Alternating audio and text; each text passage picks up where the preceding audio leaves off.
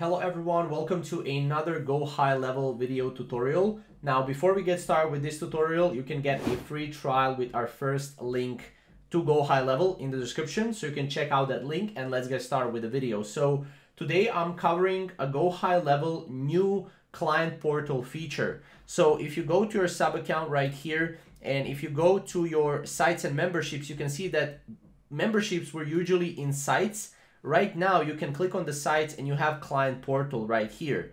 So this is what we're taking a look today. Now, as you can see, basically there are two different things you can do with client portal. Obviously, they will add more things to the client portal as the time goes on. But as you can see, it, goes new right here. It says new. So we can click on the domain setup here. Uh, let's click on that. And as you can see, this is domain setup for your client uh, portal. Now you can customize your client portal or subdomain. Uh, as you can see, this is your domain or subdomain right now, but you can also use a custom domain for your client portal. So you can go here to custom domain and you can enter your custom domain, update that domain, and obviously you will need to update the CNAME records and the A records with your, um, you know, maybe with your Namecheap or GoDaddy, wherever you're hosting your domain. And uh, as you can see, this is one thing that you can do. If you copy this, uh, we can actually go here and paste this and we'll see how our client portal looks like.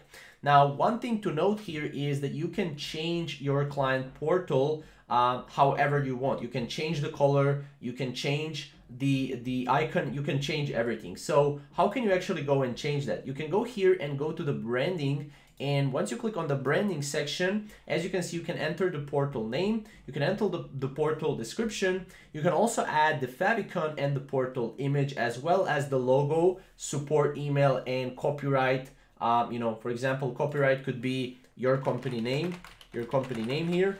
We can put that right here. Again, your company name, portal description, welcome to, and then your company name. We can change the branding color. We can change it to, to, to for example, let's make it, let's make it a little subtle like this.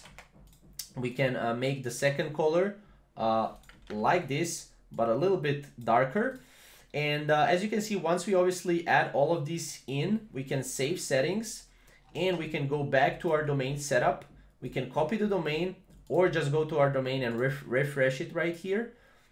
And as you can see, it will change the style, which is amazing. So with this, you can add and customize the style so it basically fits your branding and it fits your company's branding or whatever company you're working for, uh, your sub accounts branding. So this is basically in a nutshell what you can do with updated client portal feature. So if you have any questions or maybe comments, you can comment down below and uh, we'll definitely see you in the next video. But before that, you can click the first link down below if you want to go and if you want to check out the Go High Level uh, app. So uh, yeah, if you have any questions, comment down below, subscribe to our channel, and we'll see you in the next video.